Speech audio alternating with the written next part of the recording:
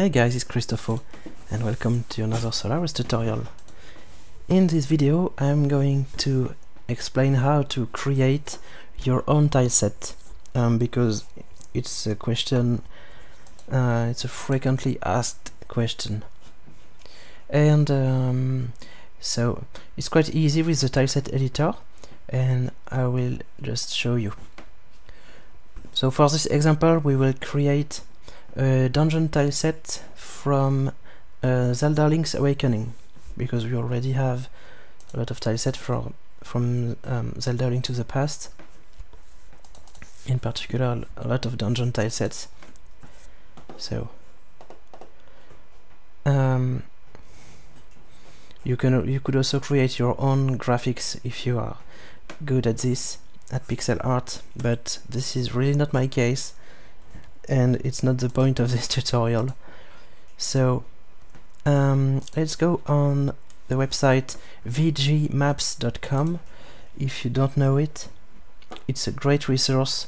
You can find a lot of uh, of um, graphics from actually a lot of maps from all all games or almost all games so if you go to the handheld section and the Game Boy section Zelda Link's Awakening Zelda Link's Awakening DX we will use the Tail Cave graphics to make a tile set. So I copy the image and then you can paste it in your favorite image editor. So for me it's GIMP. Maybe it's something else for you. It really does not matter uh, which editor you want. And the idea will be to um, pick all uh, small pieces of graphics from this map into a new image so our new image will have this size 512 it's more than big enough.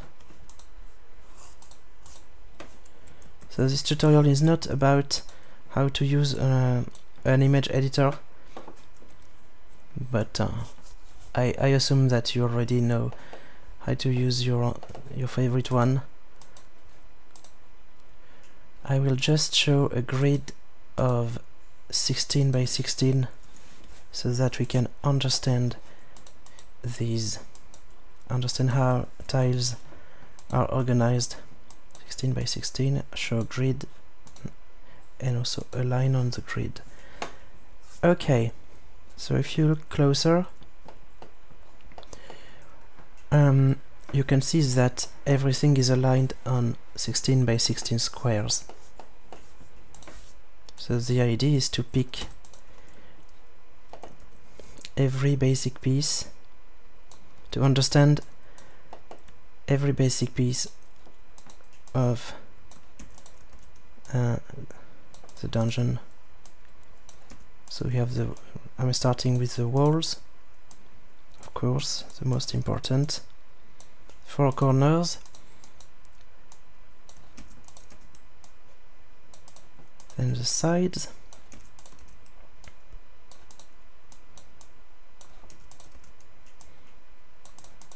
I'm doing it like this. It's just my convention but uh, you can do as you want. And you also have the, the reverse walls the reverse corners like this.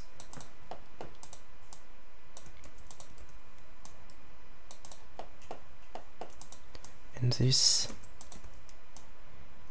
so I'm doing it quickly just to show you the ID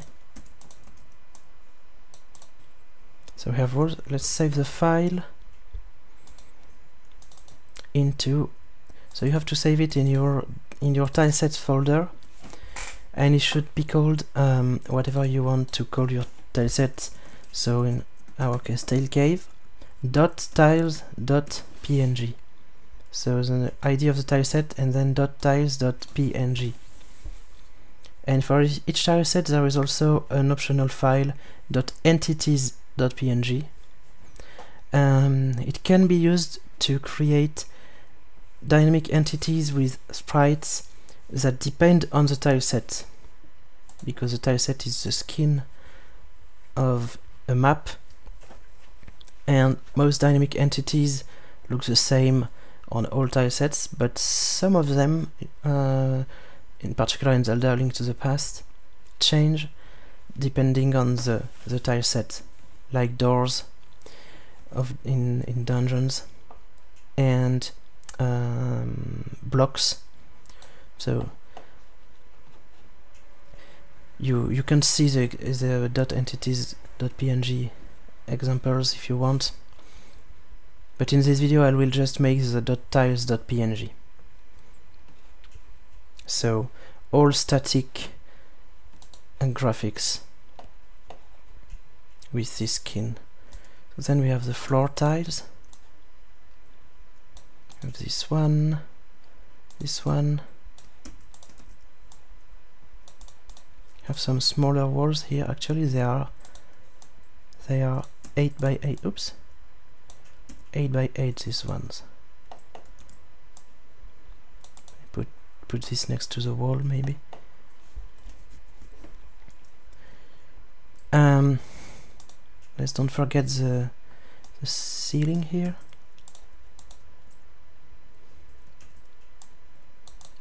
Maybe I want to put these like this. So you can use any image editor you want. It's just better if you can show a grid of 16 by 16 in this example and to make the grid magnetic we have blocks here these statues I'm not putting any enemy or chests because these are dynamic entities. I'm still putting blocks because some of the blocks are not always dynamic. So these are just tiles if they don't move. If you remember the game, these ones don't move, but this one does. So actually the block in my games is always both in the .tiles.png file and in the .entities.png file and then we have the holes starting with this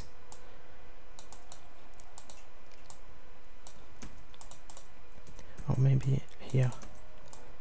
This one here. And there is another kind of hole here.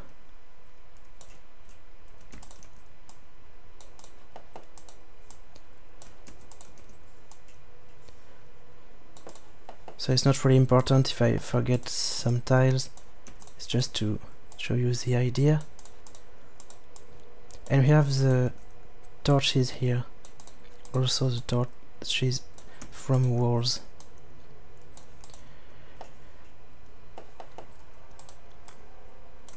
Um, torches are animated actually normally in this game. But uh, we don't have unfortunately we don't have the animation here in the image from VG Maps. So if you, if you really want the animation and you can't find them you will have to use an emulator and do the work yourself. But um, yeah regular tiles can be animated. Uh, it's the case of, of these ones. They have three frames that repeat. Same for these ones. So they can stay really regular tile. Regular tiles they don't have to be special dynamic entities except if you want more options more animation options. Um yeah what else? Maybe this.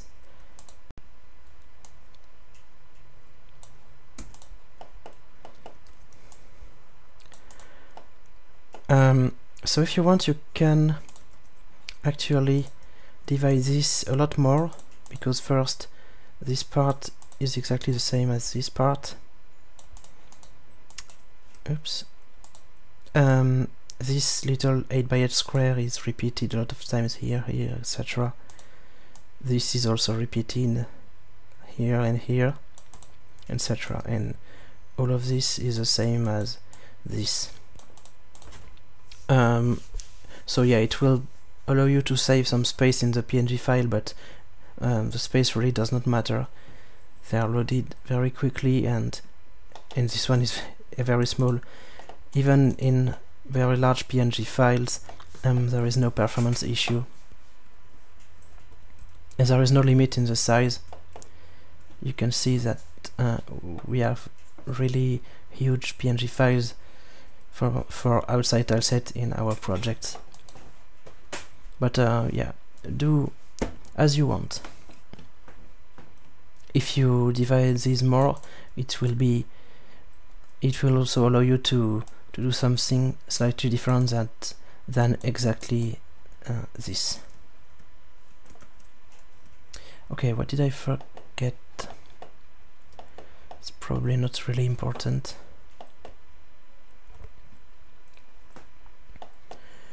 Um, so doors would probably be in the .entities.png file but um, we won't do it in this tutorial.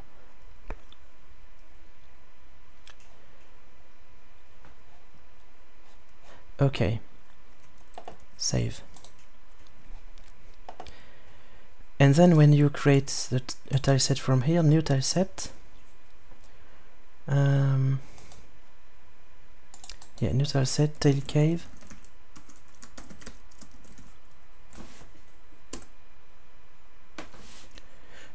the .tiles.png file is automatically detected uh, because I put the correct name here. And for now there is no pattern there are no patterns so we just have to create them by tracing drawing some rectangles like this. So maybe it's a bit boring especially when they all have the same size the A Link to the Past ones have more complicated complicated sizes like 24 by 24 16 by 24 24 by 16 etc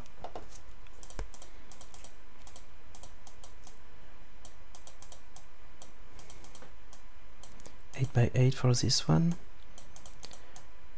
This one is for the, the ceiling, so we'll put it by default on a higher layer than the other ones. This one is a regular tile, okay, traversable. It's just that you will probably put a teletransporter on it. Holes, um, sorry, hole here. Hole. So you could actually uh, make this one 8 by 8 and this one 8 by 8 as well. Also this one by the way. You could probably save some space but it's easier to use if they have uh, consistent sizes. I can say this from experience and again you don't really care about the, the size of your oops PNG file.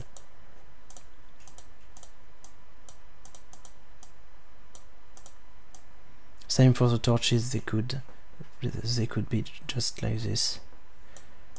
So you do as you prefer.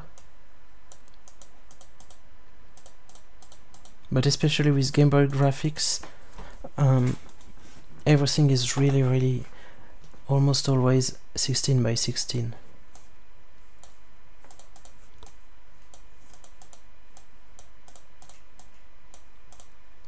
okay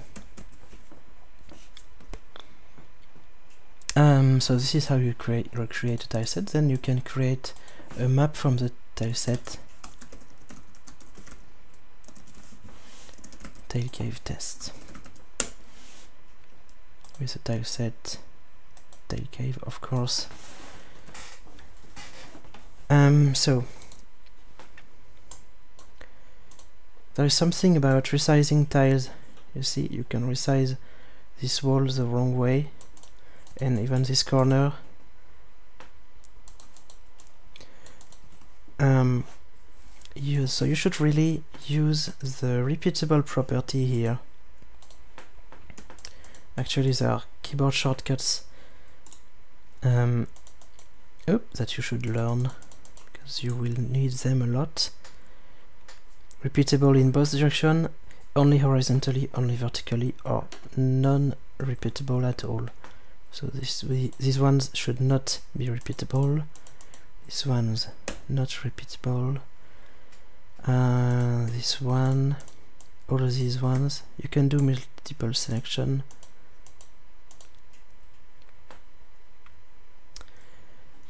so by default everything is repeatable in all directions.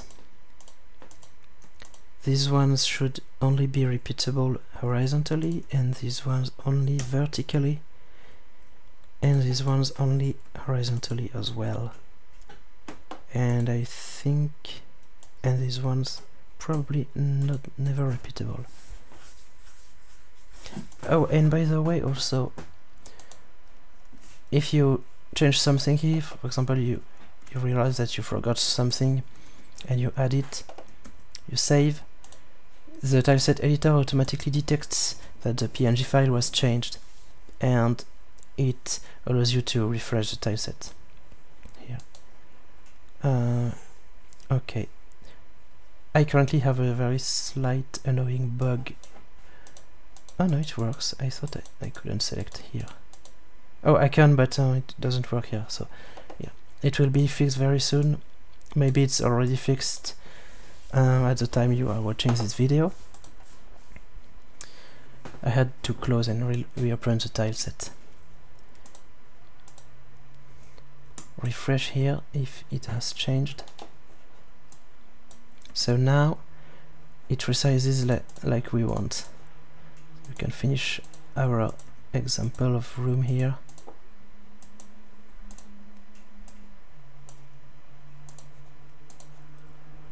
okay it's just a very simple example.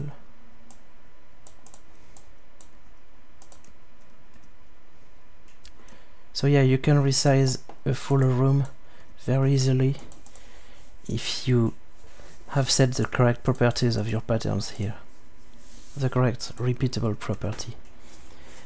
Okay and one more thing. Um, you can give names to your patterns here because by default the name is 1, 2, 3, 4 in order of creation but when you make a lot of edits uh, delete and recreate tile sets um, you you lose control of their name, their ID, so it becomes hard to make um, compatible tilesets. Uh, what I mean by that is that all our dungeons tileset, cave tileset, house, they all all patterns have meaningful name here. Here, wall. This one is wall.corner.one. This one as well so this is what identify a, a tile, uh, what identifies a, a pattern when it is placed on a map. And this is how it works when you um, change the tile set of an existing map. For example, I can open this one and then change the tile set to another but compatible one like this. And if your tile pattern has the same name in both tile set it will work. So it's very nice. And you can even copy paste tiles of from a tile set to an, another. I mean from a, map with a different tile set for example um, I don't know. From this one let's take this wall for example and paste. And when you paste it it has the destination tile set okay so and you can rename tiles by pressing the F2 key